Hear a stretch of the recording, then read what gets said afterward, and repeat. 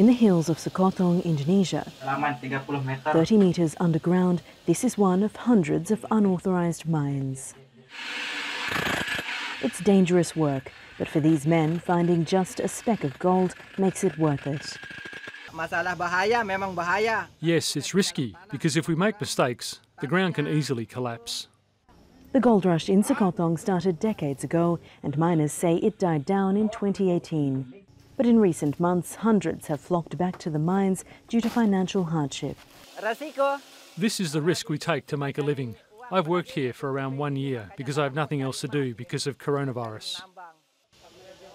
Unauthorised mining is an open secret here. Mines dot the hillside, impossible to miss.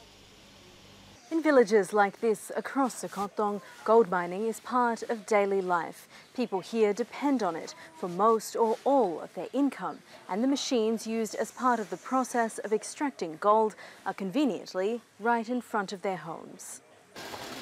These machines are the unrelenting soundtrack to life here. Miners put mercury inside them to extract gold from the sediment. It's cheap and easy. Proses dalam keadaan ini Like it or not, we have to use it. Processing gold is how we make money. ya lewat mah.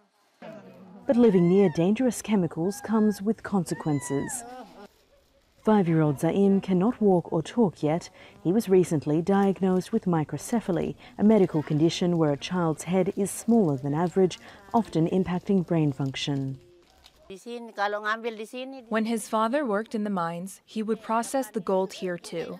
And yes, he used mercury to process the gold. Researchers from a local NGO are looking into his case and other children who they say may be victims of mercury exposure. penambang emas skala kecil ini Small scale miners keep mercury at home and use it in front of their children. For newborns, the exposure is from their mother. They have been exposed through the air they breathe. The researchers say even children with no link to mining may bear the consequences of Sekotong's gold obsession, like Narendra, who was born without eyes. pikiran mimpi pun nggak ada kepikiran. I never imagined I would have a son without eyes. The doctor asked me if my husband was a gold miner, and I said no. The researchers are also conducting IQ tests on local children. They say the government must do more to educate people about the dangers of mercury. But authorities say it takes time. It is a very serious concern, you know. You cannot change the mindset within a minute uh, because they're already very familiar with that habit. Uh, it takes time.